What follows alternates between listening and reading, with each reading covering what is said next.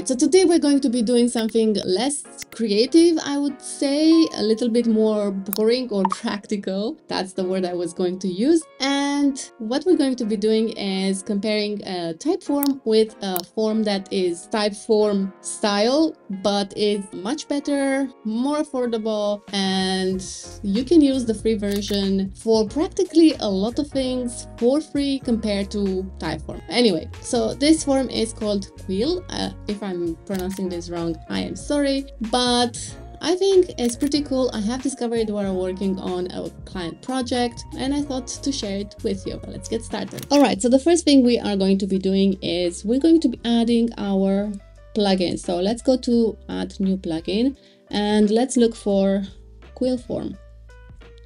Quill form. It's actually forms, but yeah.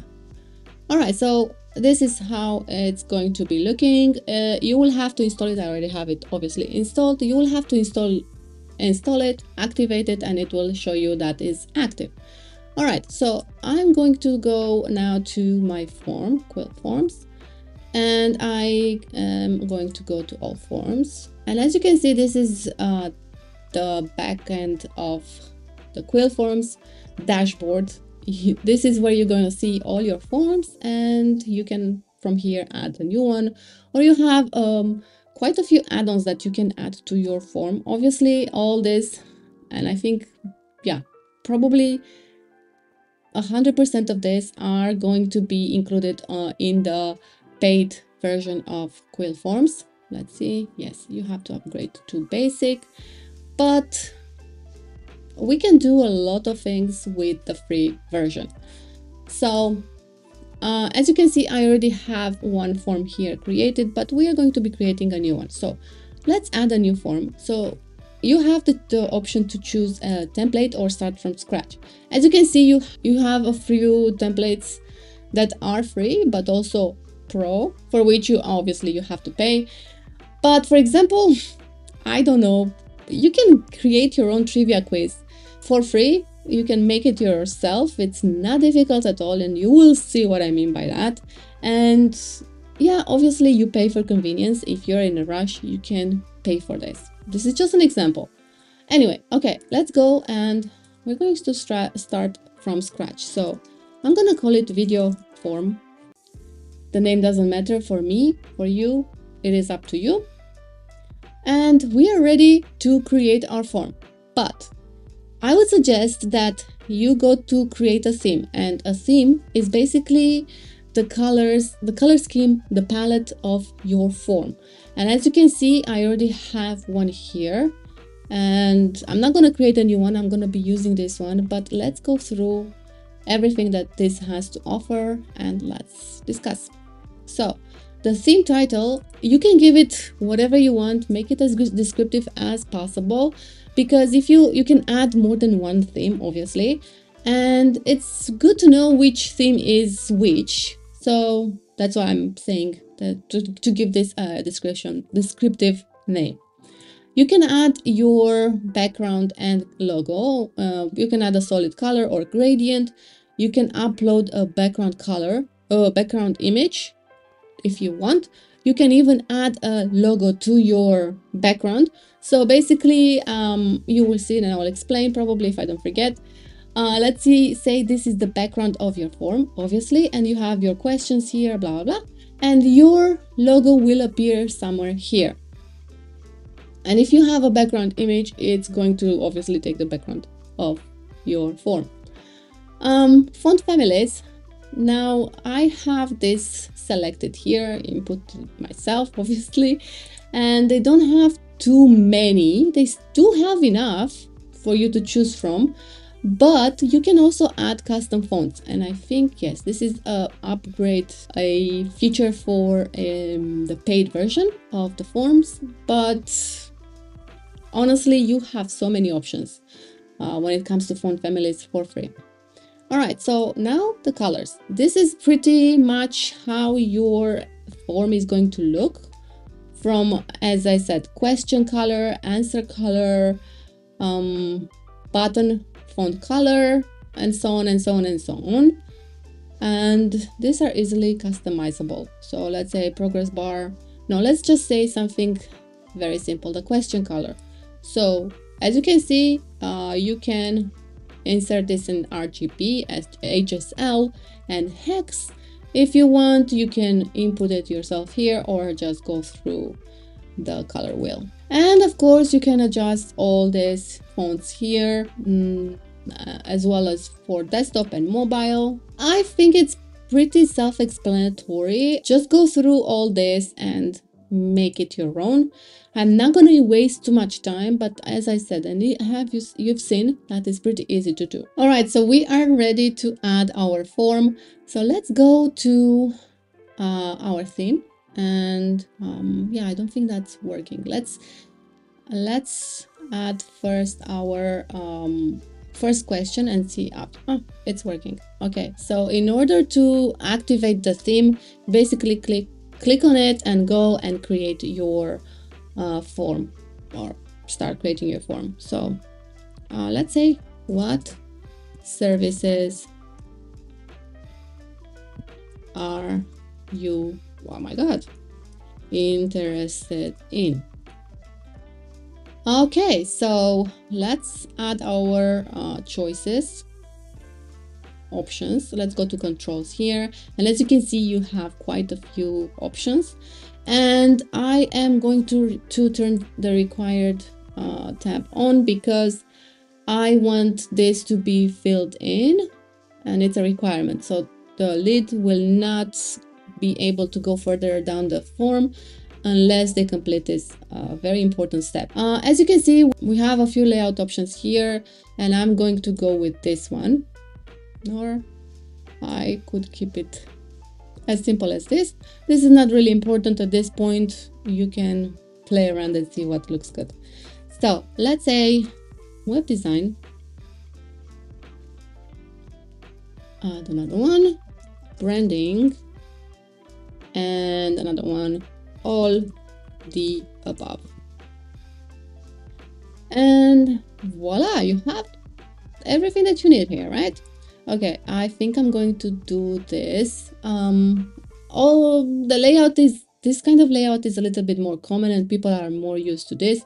But of course, it doesn't matter. It all depends on what you're going for and the layout that you want for your website.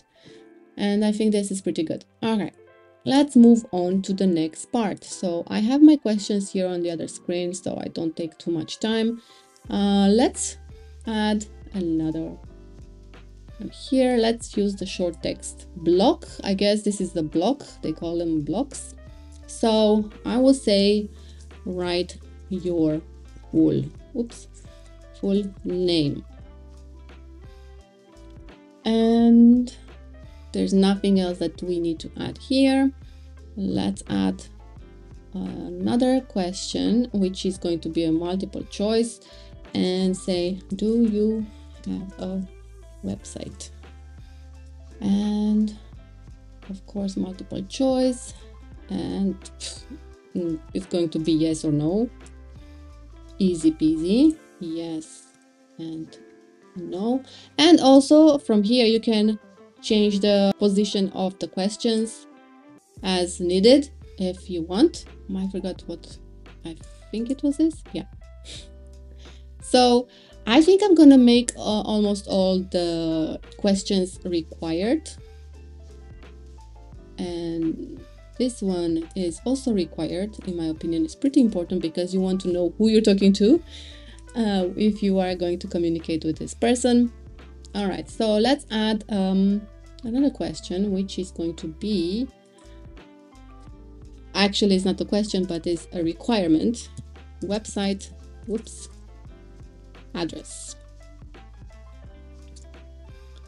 And let's move on to the next part, which is pretty cool. And we're gonna ask for um, the email address. What is your email address email address and now the fun part is that you can recall information that means that being said you can recall another question so in this case you, we are going to recall the full name of the person because we already have it at the top and it's like we are we have acknowledged their name, we know their name, and now we're going to communicate directly by using their name. So, what is your name, John, or whatever the person's name is? And let's just delete this unnecessary and add a question mark. So, as you can see here, we are going to have the name of the person filled in. Pretty cool, right? Pretty neat. And I am going to add another long text here, not another, but a long text here. And I'm going to say, tell us more about your project. That is it, very simple. And now we're gonna ask them about their budget. So what is your budget? And I forgot to mention that this is a slider. So let's go back. But this is a slider and you will see how this will work. I mean, you can actually already see it. it's very easy to understand. And I think I forgot to turn on the required option for all, but you get it. You know what I mean. So, okay, we are starting to, so let's set a minimum amount. We are going for 3000 and upwards, let's say max. All right, so they can go up to 10,000 from 3,000 to uh, 10,000. So uh, the step number here would be the amount that you increase the, the step of the slider. So let's say we want to increase it by 500, okay? So from 3,000 to 500, it jumps to uh, 3,500, 4,000, and so on and so on, right? I think it, it's easier, right? Because we're not selling potatoes, we're saying selling projects here. We're not increasing by 10 euro, we're increasing by 500. That's just my thinking, my logic. All right, so as you can see, you have also these uh, marks where it shows you to increase until a certain mark. And you can also customize this.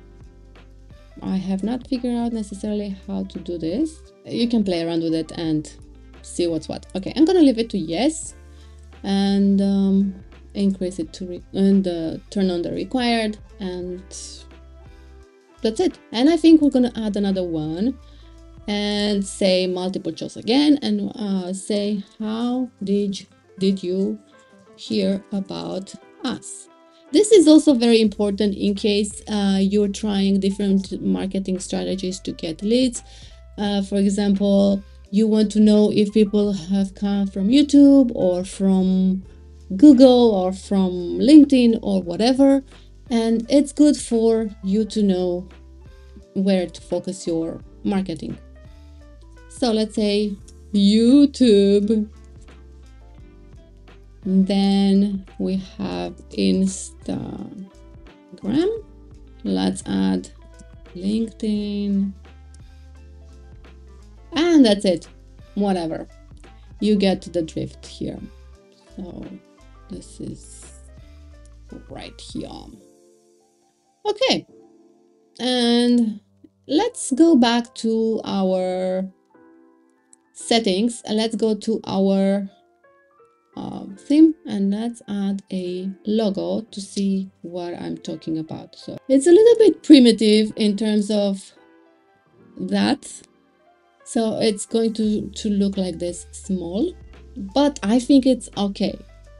So I'm gonna save it. I saved the theme. So I am going to publish my form we could preview it if you'd like, but I am going to go to publish and ah, so we have not added any notification to this form to receive results. Let me know how. So in order to receive notification that, that somebody has submitted this form, in the free version, you can only add notification for email. So let's say contact at studio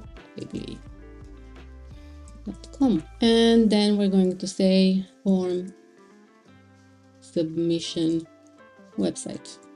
You can call it whatever you want and that's it. And allow notifications. Of course there is more to it i'm not gonna get into everything because this will take forever. Okay we have published our form so let's go and have a look. All right this is something that we need to change um, but all in all uh, I think it's pretty pretty cool.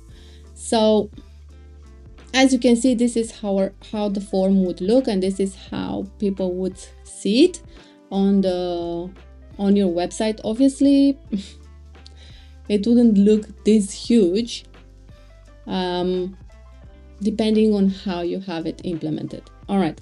So one way you can choose between uh, these options is either hitting the key for example a. If i hit a uh, on my keyboard i will have chosen web design. So let's go with a as you can see. And it goes automatically. You can also do it by hand right?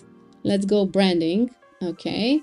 And then write your full name andrea egli. And then hit ok. Then do you have a website? And i'll say b. And you know you get it okay i'm not gonna go through the whole thing as you can see this is something that we need to complete and i'm gonna say studio egli.com press OK. What is your email address, Andrea Egli? As you can see, do you remember I said here that we are going to be communicating with the person that has completed our form with their name. We're going to start uh, addressing them by their name. So what is your email address, Andrea Egli? And I'm to say, actually, I'm not to say anything. Let's go further, further, NA. Um, so what is your budget? 5000 okay lucky me uh, and now let's say C and submit and that's it and this form should be submitted and we should receive it by email and so now we need to go back to our forms and we have to uh, figure out how we can add this to our website. So i had to deactivate my plugin that it was giving me a very nice oh, it's still active which is weird. Anyway and if you go to your form let's go back to the form and go all the way to integrations. Uh, share this form. So basically we want to share it. And the way I want I like to do it or I did it is using the iframe so copy the iframe but you also have the option for shortcode. I tried this, it didn't really work properly for me. And also you have a direct link that you can send to people if you want them to complete your form outside of your website. So let's copy this. Let's see how that, I actually did not even look to see what exactly happens. All right, I think this is pretty cool as well. So you could have this outside of your um, website. You can just send people to this uh, to complete this before they inquire further or you start working with them. Okay. Pretty cool and this one doesn't really work as you can see is a little bit wonky and I have no idea what is going on on this side I try to adjust it by inspecting to see uh, what is going on but for some reason I could not make it work for the life of me. We can add it in a pop-up in uh, Elementor and it's fine. So, and a QR code, which is pretty cool if you want this to be, um, if you're, I don't know, doing a, a trade show and you want this to be embedded on a on your booth or something like that whatever that may be. All right, I think this is it and I hope that you have found this pretty interesting and really helpful. If you'd like to see what else you can build with Elementor, watch this playlist here or here. And if you have gotten any value out of this video, please consider subscribing, liking and sharing this video and I'll see you next time.